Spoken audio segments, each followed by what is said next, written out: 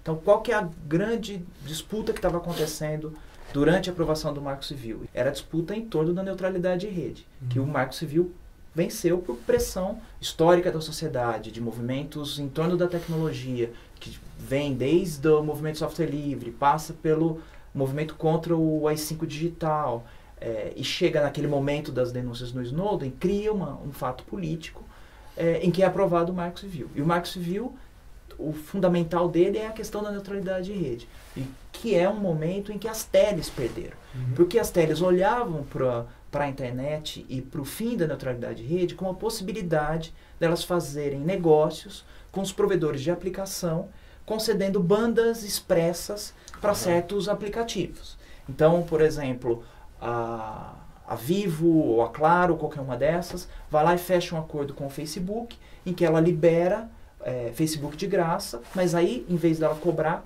do é, usuário, ela cobra do Facebook. Aí ela ganha por ali. Só que isso aparentemente é algo muito bom para o usuário final, porque ele vai ganhar aquela coisa de graça.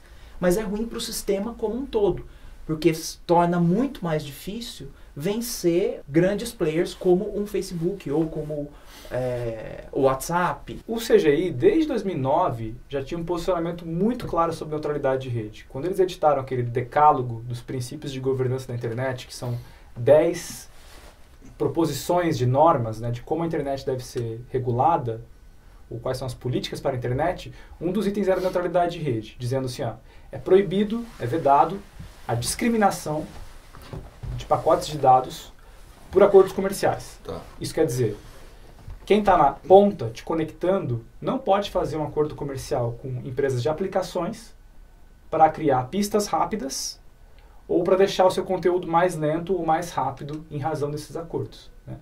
E essa era uma das maiores estratégias de aumento de poder das teles. Se elas conseguissem quebrar a neutralidade de rede, elas iam ficar muito poderosas. Porque o poder de barganha delas ficaria no céu, no limite.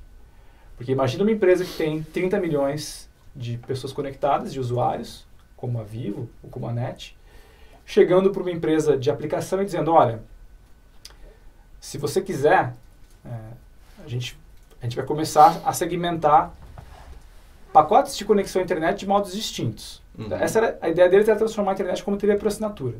Então, dizer assim, olha, a gente vai pegar o cara de baixa renda e vai of oferecer um pacote para ele que ele só consegue acessar e-mail, noticiário e jogos do Brasileirão. Para o cara de classe média, a gente vai ter o pacote premium tá. 40 reais mais caro, que vai conseguir acessar filmes online e etc. Para o cara que tiver mais renda ainda, ele vai acessar é, compartilhamento em tempo real, Dropbox, etc. Todas as aplicações possíveis. Então, a ideia era segmentar clientes. Romper com o princípio básico da internet, que é o uso livre. Uhum. Cada um faz o que quer. A internet é rede das redes. O usuário final decide o que ele quer fazer na rede, não quem está te conectando, quem está te dando a, a chancela de entrada na rede. O CGI foi absolutamente contra isso, porque ele diz, olha, isso você rompe com o princípio de arquitetura da rede, que é o princípio de, de pontas. Os usuários definem o que eles querem acessar e a troca tem que ser livre dos pacotes de dados.